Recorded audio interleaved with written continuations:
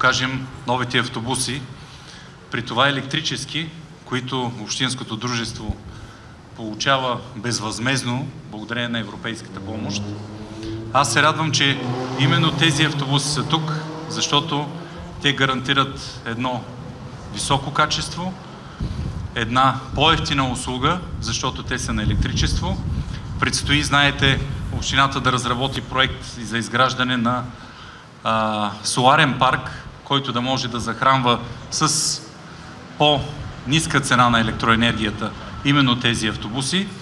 Така че искам да поздравя целият екип на автобусни и тролейбусни превози, целият екип на общината, който работи по този проект.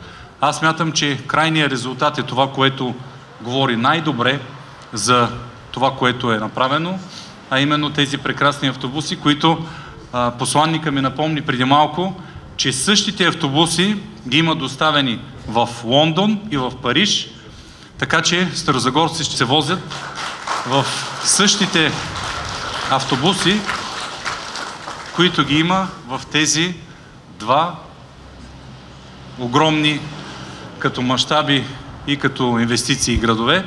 Така че а, това са. Резултатите говорят сами за себе си.